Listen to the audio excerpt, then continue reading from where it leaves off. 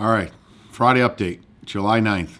The one most of you, if not all of you, have been waiting for for quite a long time. I'm happy to announce that yesterday the FOP and the city's negotiating team did come to an understanding on a financial package.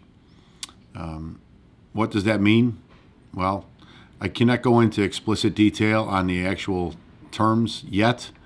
Uh, the process is the process, and I'm going to respect it uh, as long as necessary here. But the reason nothing was announced yesterday was because the mayor is in California, and the city's team has the obligation to inform the mayor.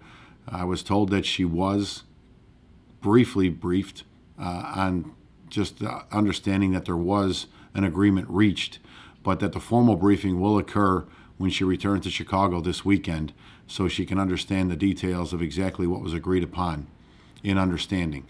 Uh, this is an eight year agreement. I can tell you that much. Beyond that, I'm going to have to hold my tongue for now. Uh, once the mayor gives her formal thumbs up and the process can move forward, uh, it'll be incumbent upon her to start making sure that the support is there in the city council, and uh, we will put it out for a ratification vote to the membership here before it even goes to the city council. So sometime next week, if the process moves along like it should, uh, I'll explain more of the terms of what you're looking at. It will be in detail in the mailer that will go out, and we'll see where it goes from there.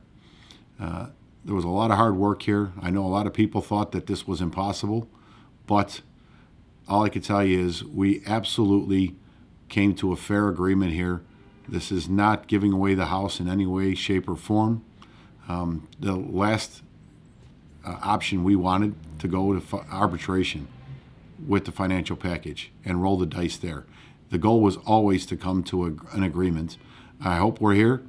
Again, there's still a couple more steps to get there, but there's reason to be optimistic that the light at the end of the tunnel is near, and we'll see where this ends up. I'm going to keep this one very brief. Like and subscribe, and you'll get the updates as they come along. There might be one early midwet next week. We shall see with more details.